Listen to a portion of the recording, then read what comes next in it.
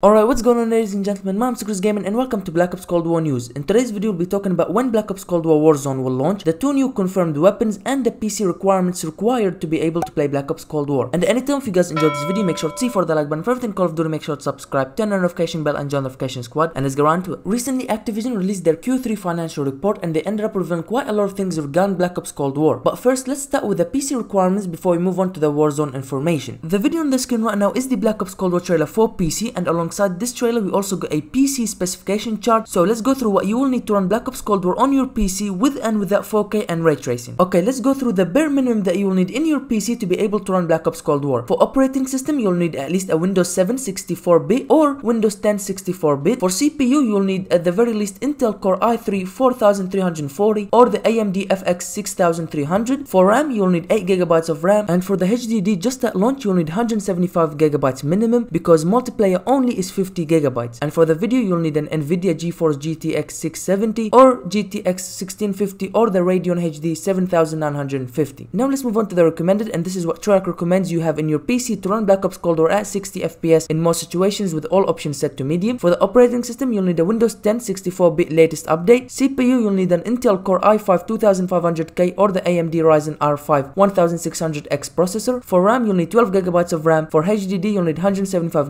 and for the video you'll need an Nvidia GeForce GTX 970 or the GTX 1660 Super or Radeon R9 390 or the AMD RX 580. Just keep in mind if you guys do not plan to play on 4K with ray tracing then I recommend you guys to stop at recommended you don't need to go further but if you are planning to have ray tracing and 4K then these are the specs. For the operating system you'll need Windows 10 64-bit latest update. CPU you'll need at least Intel i7 8700K or the AMD Ryzen 1800X. RAM you'll need 16GB of RAM. HDD once again you need 175 gigabytes, and for the video you'll need Nvidia GeForce RTX 370. Now you move on to the competitive and it's the same thing as recommended with ray tracing however the only changes in video and you'll need Nvidia GeForce GTX 1080 or the RTX 370 or Radeon RX Vega 64 graphics and finally the Ultra RTX 4K and all that good stuff. It's the same thing as competitive but you'll need just two changes and that is the HDD you need 250 gigabytes and for the video you'll need Nvidia GeForce RTX 380. Now that we have finished from the PC specs let's move on to the Warzone information that we got in Activision's financial report. Straight away, the first thing is gonna be a bit disappointing, I'm not gonna lie to you guys, but Black Ops Cold War Warzone won't be available at launch. Instead, it will launch sometime in December alongside the release of Season 1 of content. Yes, you heard that correctly, that basically means that we won't have a new map or new content for Warzone from Black Ops Cold War side until Season 1, which like I said, will be sometime in December. But like I said, it's quite disappointing because I was excited to see the new Warzone experience in Black Ops Cold War, but we will have to wait a bit longer for that. And I guess that's fine, we have to give them as much time as they can to make it as good as they can and in my opinion I rather have it released later than release on launch but full of glitches and just basically being unplayable. What do you guys think about this? Tell me in the comment section down below. We move on and the president of Activision also mentioned that any weapon you unlock between level 1 and 55 in Black Ops Cold War will be usable in Warzone when it's finally integrated. So you can use loadouts from Modern Warfare and Black Ops Cold War in Warzone. For example, you can use the XM4 from Black Ops Cold War in Warzone and you could come up against someone who is using the Grau from Modern Warfare or vice versa. And that's a absolutely amazing because all your work on Modern Warfare won't go to waste like the previous years, you can still use all your content from Modern Warfare into Warzone. However, the interesting part in all of this is the fact that he said between rank 1 and 55. Now he didn't say anything about what happens past rank 55 which could still mean we have a prestige system but at the same time it could still be the same level system from Modern Warfare. And just like you guys can see in the tweet from Charlie Intel, I'll leave a link in the description down below, he did say that the progression system will work similar to that of Modern Warfare's progression system. But unfortunately he refused to say anything else about the progression system. And if you go by that, it pretty much confirms that the prestige system is probably not gonna come back because let's be honest, prestige system is nothing similar to that of Modern Warfare and the Activision president, he said it's gonna be similar to Modern Warfare. So I'm guessing no more prestige system and we're just gonna have the same thing as we had in Modern Warfare. But I'm not gonna tell you guys that's quite disappointing but I hope one day we will have the prestige system back again. With everything that Activision's president said regarding Warzone and the progression system, it actually raises some questions. For example, if you are not getting Black Ops Cold War Warzone on launch, what about the whole nuke event? It was rumored to be happening before the launch of Black Ops Cold War, so when Black Ops Cold War launched, it was going to be ready. But with it being delayed to December, it looks like we won't have a nuke event anytime soon, and we will still have to use Verdansk for the time being. Also, are we gonna have a season 7 in Modern Warfare? I mean, Warzone has to still be supported, and we know that Treyarch won't support Warzone until December at least. And what is this new progression system that they refuse to talk about? We are not sure yet, but we will hopefully know everything in less than 2 weeks time when Black Ops Cold War finally launches. I also wanted to bring your guys attention to the two new confirmed weapons that will be in Black Ops Cold War. If you guys were paying attention to the video, you would have seen not only the channel but also you would have seen the FAMAS. Obviously, these are two iconic and fan favorite weapons from Black Ops 1, and they will be making their way to Black Ops Cold War. Thank you guys for watching this video. If you want to watch more, make sure to click the video on the screen at any time. If you guys enjoyed this video, make sure to see for the like button. For Call of Duty, make sure to subscribe, turn on notification bell, and join the notification squad, and I'll catch you guys later.